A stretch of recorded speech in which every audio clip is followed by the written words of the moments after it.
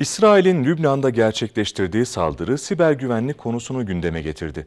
Dışişleri Bakanı Hakan Fidan, müstakil bir siber güvenlik teşkilatı kurulacağını duyurdu. Bugün 19 Eylül 2024 Anadolu Ajansı editör masasının konuğu.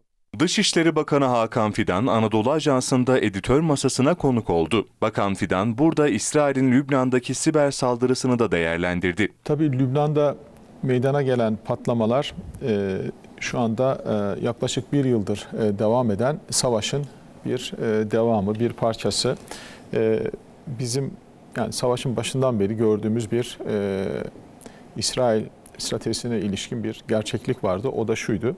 E, İsrail ilk önce Gazze ile ilgili hesaplarını e, bir görecek. Ondan sonra e, Lübnan'a e, bu işi kaydıracak diye. Şimdi adım adım e, Lübnan'a doğru e, tırmandırmaya başladığını görüyoruz. E, tabii son iki gündür olan e, patlamalar, e, elektronik cihazlarla ilgili e, yani bunlar tabii istihbarat literatüründe fırsat operasyonu diye nitelendirilen e, operasyonlar.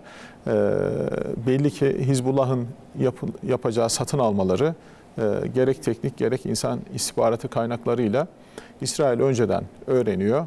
Daha sonra e, bunlara paravan şirketler veya başka e, şekilde e, nüfuz ediyor, hulul ediyorlar. E, ondan sonra bugünkü e, şeyle karşılaşıyoruz manzarayla. Bakan Hakan Fidan, saldırıyla ilgili Lübnan'a destek mesajı verdi. Ben e, ilk gün e, Lübnan Başbakanı'nı da aradım.